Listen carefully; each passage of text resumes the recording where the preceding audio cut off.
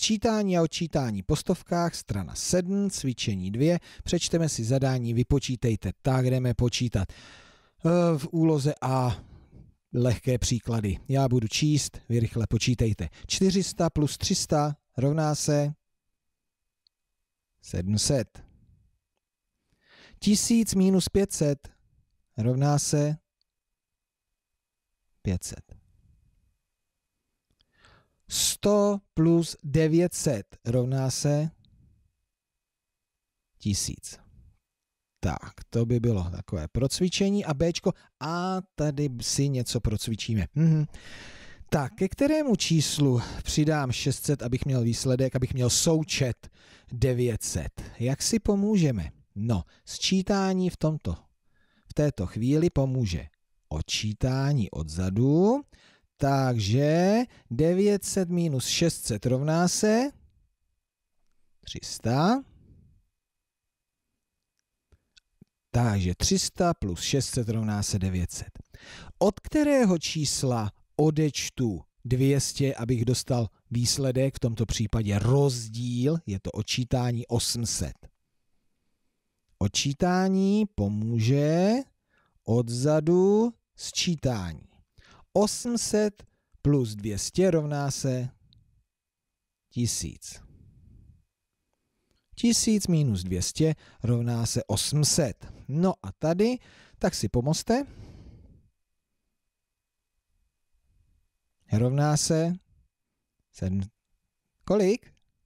Aha, ne 700. Žádných 700. Sčítání nepomůže sčítání, ale odčítání. 400 minus 300 rovná se 100. 100 plus 300 rovná se 400. Tak, bezva. Podíváme se ještě na C. 800 bez minus kolika rovná se 200. Pozor tady na to. Tady u takovéhleho příkladu si musí odčítání pomoct samo, takže 800 minus 200 rovná se 600. 800 minus 600 rovná se 200. 300 plus které číslo rovná se součet 600.